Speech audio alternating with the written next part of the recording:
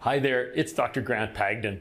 You've heard me talk a little bit about Immunocal in the past. This is a product that we really strongly believe in. It's helpful for maintaining muscles and it's very helpful for supporting your immune system.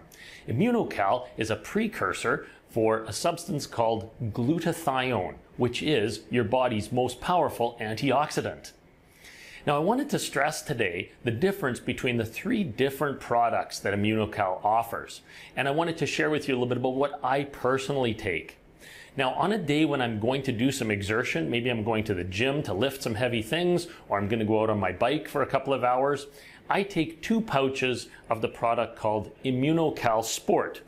So it comes in the black box, okay? And Immunocal Sport contains the regular Immunocal, but it also has some beetroot extract, which helps to boost nitric oxide production and allows your nitric oxide to dilate your blood vessels. So a little bit better blood flow to the muscles. That's why I like to use this before a workout. Now, on the days when I'm not doing a workout, I will take this product. This is Immunocal Platinum. It has the regular Immunocal with the addition of some creatine, and that helps me to rebuild my muscles and repair on days off. So I like the Immunocal Platinum on a day when I'm not doing a great degree of physical exertion. Now, for folks that simply want to boost their immune system and they don't have a high level of athletics necessarily, they may have some inflammatory conditions or an autoimmune condition. That's where the Immunocal Regular comes in.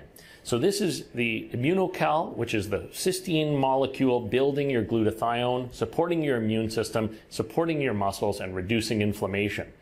Now, for people that have an inflammatory condition or autoimmune condition, I would recommend two pouches or sometimes even three pouches daily.